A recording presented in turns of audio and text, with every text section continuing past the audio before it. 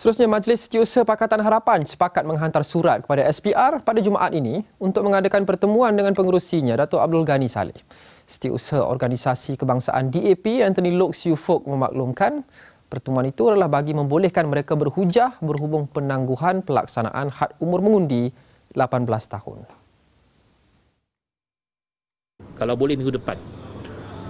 Kita nak berjumpa, nak berhujah dengan beliau, nak nak nak memberikan uh, pandangan kita kepada SPR bahawa ini tak sepatutnya dilengahkan.